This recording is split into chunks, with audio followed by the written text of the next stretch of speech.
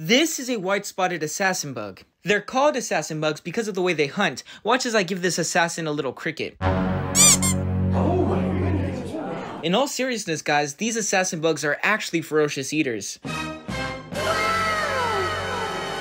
In the wild, these insects will lie in wait for an insect or a cricket or some other sort of invertebrate to walk by.